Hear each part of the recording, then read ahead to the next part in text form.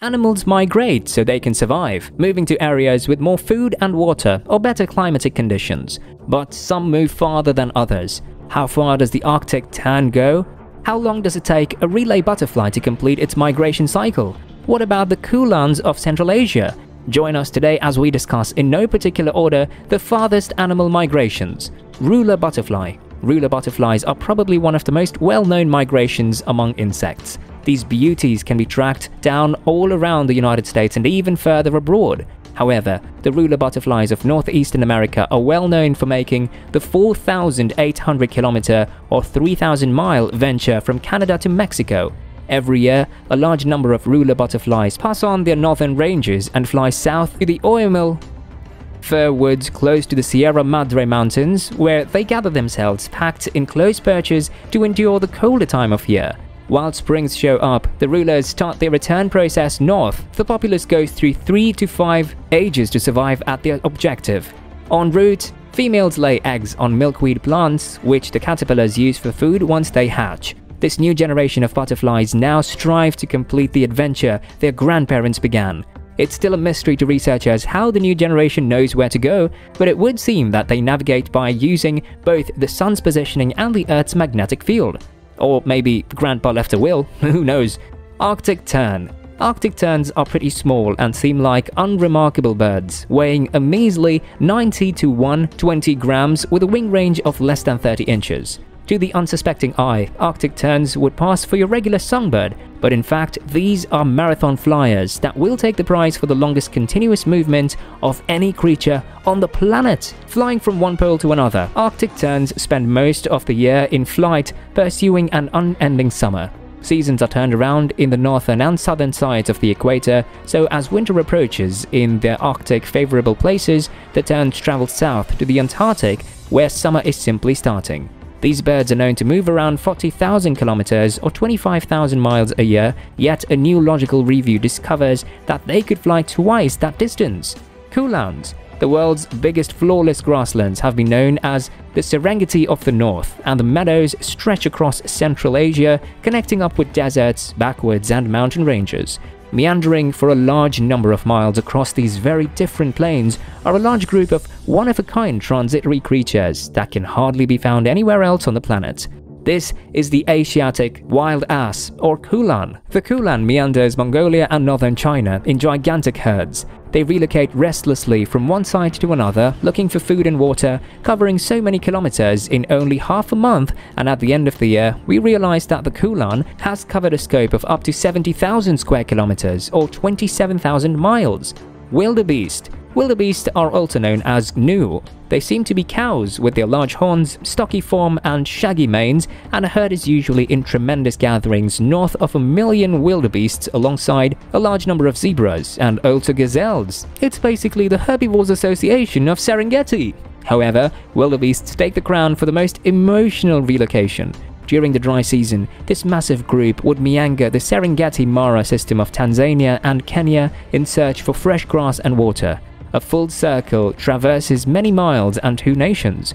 As an extraordinary multitude, they are a force to be reckoned with, and members of the herd must keep up or risk being taken out by the lions, hyenas, and crocodiles that are always looking out for fresh meat. Many do not make it through the entire migration cycle, but for the survival of the herd, it must be done.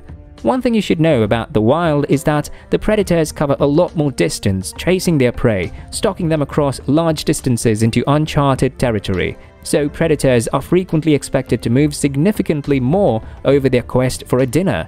In Mongolia, for example, dim wolves moved more than their prey, the kulan and wild camel. In Alaska too, dark wolves moved more than the caribou or moose. Caribou Caribou have two distinct crowds in Alaska and Canada, making a trip as much as 1,350 kilometers each year, the group reports October 25th in Scientific Reports. In the bordering United States, donkey deer have the longest yearly land movements, heading out as much as 772 kilometers in Wyoming and Idaho. The scientists likewise resolved the complete total distance traveled in a year for the creatures in the review utilizing GPS information. While the group expected that the enormous, hooved creatures would cover significant distances, the information on combined distances uncovered an astounding find. Joly says the predators covered more ground than their prey. The dark wolf, for example, had overed an incredible distance of 7,247 kilometers in one single year. Another thing to note is that little prey creatures from a similar locale would in general move more than bigger ones. For instance, wildebeest moved more than the zebras in the Serengeti, caribou more than moose in Alaska, and kulan more than wild camels in Mongolia. Here's a fact that makes this crystal clear. Enormous creatures are fit for utilizing lower quality food sources which are more bountiful and this permits them to move less by and large. Low calories but large quantities to make up for that. The less food that was accessible, the more the animals moved. Salmon.